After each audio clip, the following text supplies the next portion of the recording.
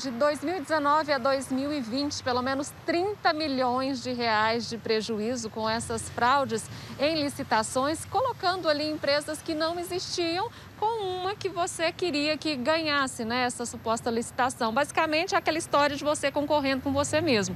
E aí, claro, né, não tinha jeito, a fraude realmente existiu por todo esse tempo. Mas vamos conversar então com o doutor João Carlos de Freitas Júnior, que é delegado adjunto da DECARP, para explicar melhor para a gente como foi essa operação.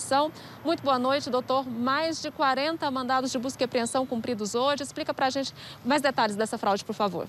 Exatamente. Boa noite, boa noite, Silvier.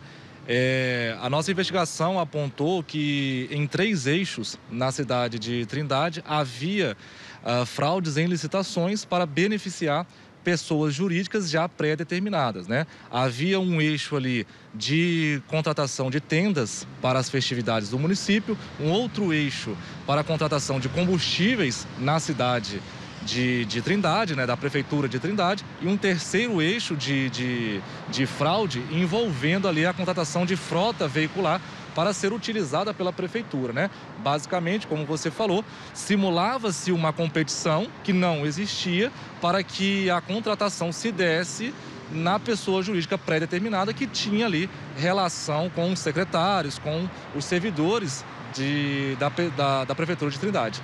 Doutor, e tinha até pessoa, tem inclusive uma das pessoas da época, um secretário, que permanecia até hoje, foi encontrado dinheiro na casa dele. Exatamente. Durante as diligências, né, na, na residência de um secretário municipal, que era da gestão passada e se manteve na gestão atual, nós encontramos em dinheiro vivo, em espécie, cerca de 150 mil reais.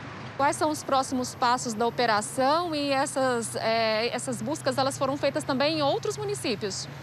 Exato. As buscas se deram na cidade de Goiânia, Trindade, Aparecida de Goiânia e Porá.